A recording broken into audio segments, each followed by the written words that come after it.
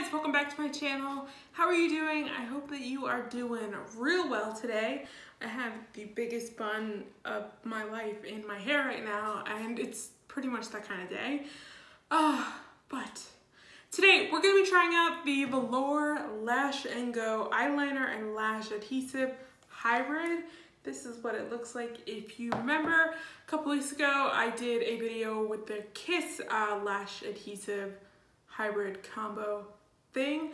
I don't know what you would call it. It's lash glue eyeliner. I think that's what it's called. As far as I know, there are only three brands that are doing this type of stuff. So it's Kiss, um, Velour, and I know there's another high-end brand. But I do really want to try it because I did order it before I bought the Kiss one. So we can see um, which one is better, the Kiss one or the Velour one. The Velour one definitely is a lot more expensive than the Kiss one. And that's what we're gonna do today. My makeup is completely done. So we're gonna just focus on the eyeliner today and put, pop some lashes on. So hope you guys are excited to check this product out. Don't forget to subscribe before you leave. Hit the bell so you stay notified for when I upload. My schedule has been real crappy lately. Trying to get back on track. Yeah, anyway. Let's jump right into this video.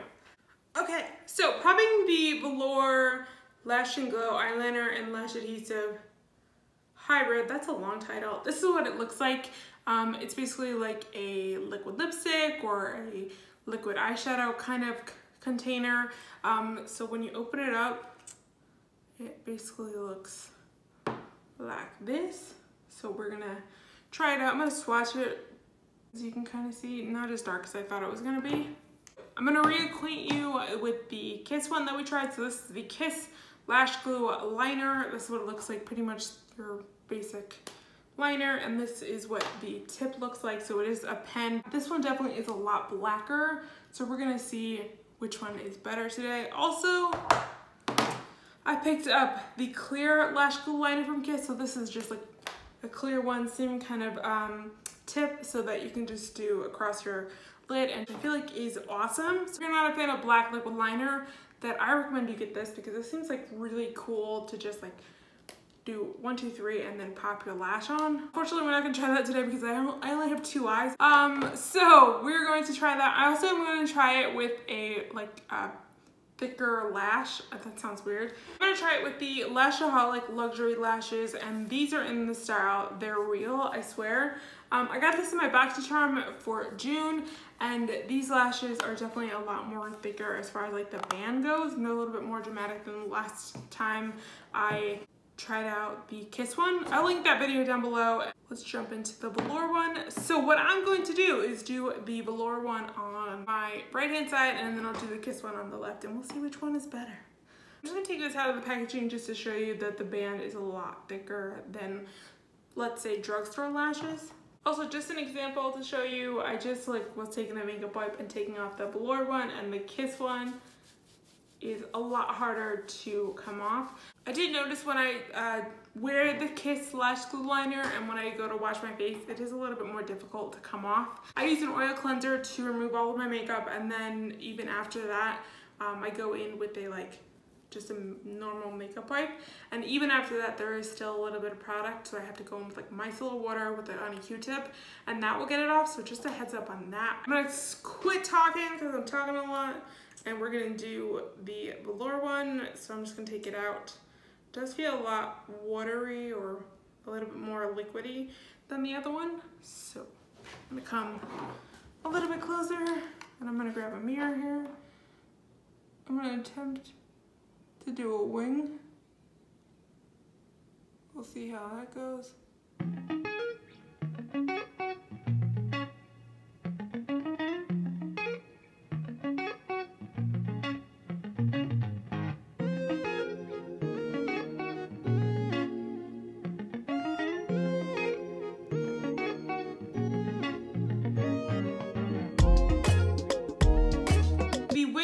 Pretty good. Um, it was definitely a lot easier. I actually really like the way the component is, but I'm going to go ahead and apply this lash and hopefully um, it will stick.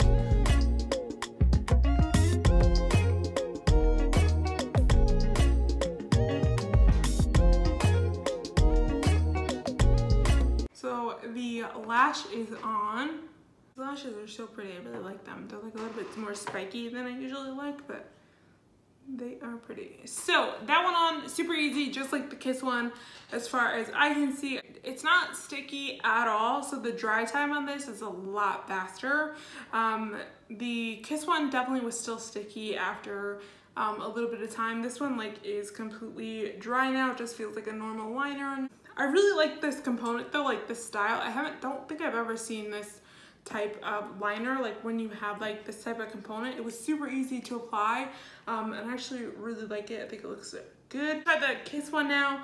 Um, the tip of this one is a felt tip which is not my favorite but we're gonna run with it today. This one is done I think they actually match which is shocking for me. This is liner is actually really nice. It's not dry at all. It's a very liquidy liner so it can go on really easily. Um, I just don't like the tip of this one because it is difficult to create a really nice point, but it actually looks not too bad. So I'm gonna go ahead and apply the lash now.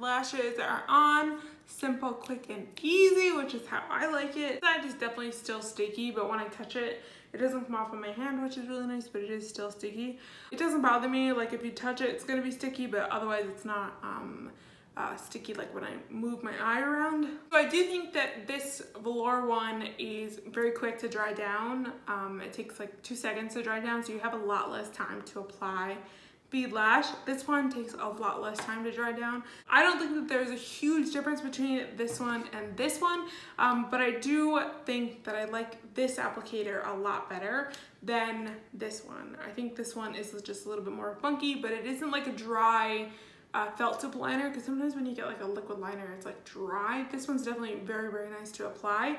Um, I also do think that the Kiss one is a little bit blacker than this one. Not by like a ton. I wouldn't say that it's um, that much.